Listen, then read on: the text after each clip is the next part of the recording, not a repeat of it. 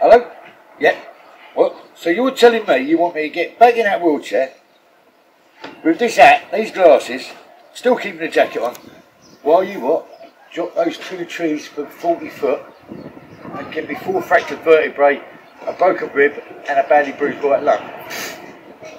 Yeah, I'll tell you what. Hold my beer. Right, you ready?